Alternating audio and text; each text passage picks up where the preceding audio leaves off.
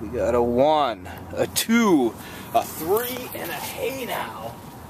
Metal Mike coming at you from St. Paul Oakland Cemetery, where I grew up.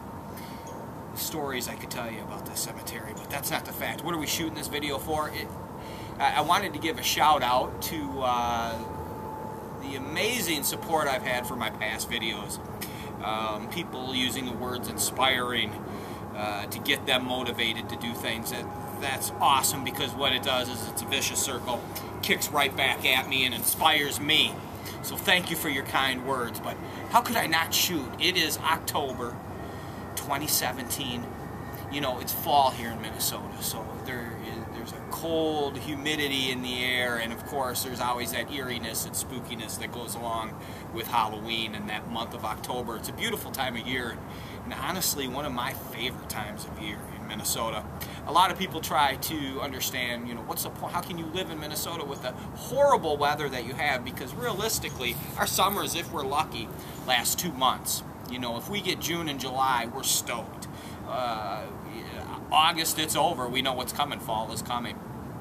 But like life, like the word vicious circle, it, it's awesome because it's death and life all just happening right in front of you and you're living in it. And there's just something about it. I love the change of seasons. Would I love to live on the beach in California 365 a year? Of course, but yet there's a part of me that enjoys this. And with each season ending, there's an excitement for the new season to begin. So as you're burning out on winter, summer's coming and spring. That's exciting, right?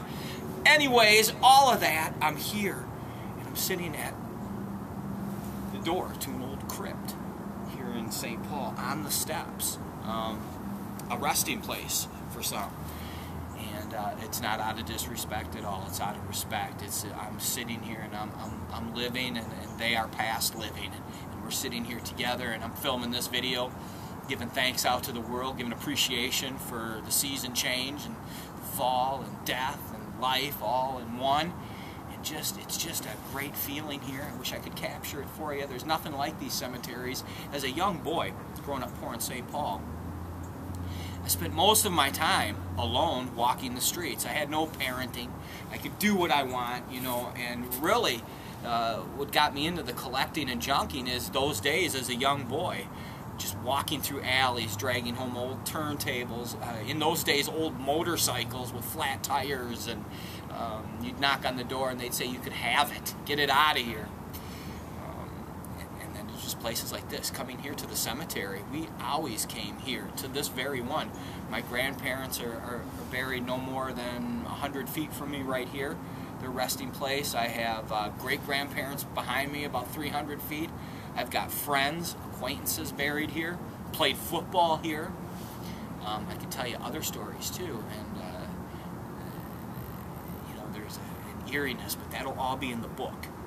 Am going to write a book. At 50 years old, I just turned 50 in August, and uh, wow, humbled to say the least. And so just giving a shout out to you guys. Have I been picking? Have I been junking? Yes, of course. In between being a parent, which consumes 90% of my time uh, with the two special needs kids and then my youngest daughter who's five. The time that I get to get out there and do the picking and collecting is limited, but it is beautiful. Garage sales have been fun. The flea market, I love it. Craigslist even, I like to work that beast. I like to ride that donkey. Uh, Uh, just trying to if you can catch things on Craigslist you can get amazing deals you know but there's a million other guys out there so it's always up and at 'em right each day. That's what we do. We motivate. I'm in St. Paul. What am I doing over here? Just filming this video? No I'm actually just cruising. Got a little time to myself and that's why I always tell you to take advantage of that uh, time to yourself on any level. If you know, if you get the peace by sitting there listening to a record, then do that.